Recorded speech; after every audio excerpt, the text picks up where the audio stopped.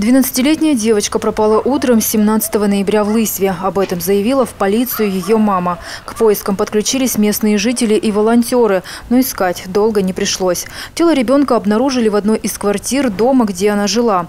Подозрение в похищении пало на 35-летнего соседа, проживающего в том же подъезде, этажами ниже. Раскрыть преступление помогла собака-ищейка. В квартире злоумышленника обнаружили тело. Было обнаружено тело 12-летней девочки с явными признаками насильственной смерти. По подозрению в совершении этого особо тяжкого преступления э, задержан житель города Лысьвы. Э, Следователями направлено в суд ходатайство об избрании подозреваемому меры пресечения в виде заключения под стражу. Убийца и педофил не стал отрицать вину, признался в надругательстве. Решение об аресте проходило в суде в закрытом режиме, поскольку в деле фигурирует несовершеннолетний ребенок.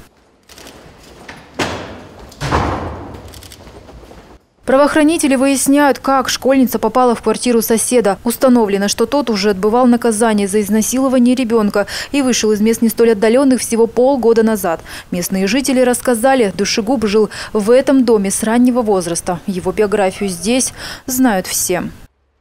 Он рос тихим и незаметным. Я знаю, что на его счету уже два преступления. Оба они шли почти по одному сценарию, как и последнее. Первую жертву он держал в шкафу несколько дней, но не убил. А вот второй не повезло так же, как и бедной Дине. После того преступления он вышел из тюрьмы всего полгода назад. Сейчас проводятся необходимые следственные действия. Тем временем мы обратились в Березняковскую полицию с одним лишь только вопросом. Возможно ли повторение подобной трагедии в нашем городе? Выяснили, в Березняках более 180 человек, вышедших по УДО. Правда, по каким статьям в полиции не уточнили. А, всего на учете в отделе участковых полномоченных полиции состоит около 2000 человек.